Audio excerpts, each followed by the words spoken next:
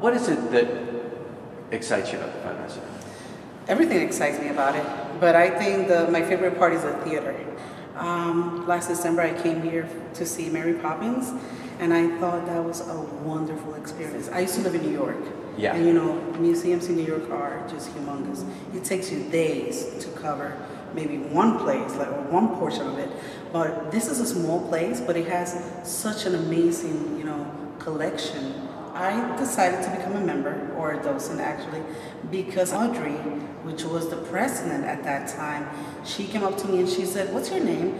And I told her, you know, Superstar, because I just like people to call me Superstar. It's not really my name, it's Eunice, but anyway, um, she said, you know what, you have an amazing personality. I think you can be a good part of our organization.